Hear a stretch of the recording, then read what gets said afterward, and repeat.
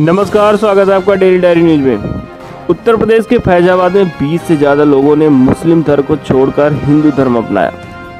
इसको हिंदू धर्म की दीक्षा दिलवाने वाले लोगों का दावा है कि सभी लोगों ने अपनी मर्ज़ी से हिंदू धर्म स्वीकार किया है।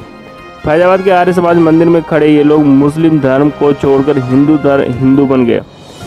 इनको हिंदू धर्म की दीक्षा दिलाने वाले संघ के नेता कैलाश चंद्र श्रीवास्तव का दावा है कि इन्होंने बिना किसी प्रलोभन या दबाव के हिंदू धर्म अपनाया है। संघ के नेताओं का दावा है कि नट समाज से जुड़े इन लोगों के परिवारों को 20 से 30 साल पहले तक हिंदू माने जाते थे और अब इन लोगों को मुख्य धारा से जोड़ने पर ज़ोर दिया जाएगा। आपको बता दें कि यह मामला हिंदू वर्सेस मुस्लिम का बहुत पहले से चला आ रहा है। जब से बीजेपी सरकार आई थी, तब से लेकर आज तक घर वापसी का ये संघ का नारा जारी है और उसका लगातार प्रयास भी जारी है।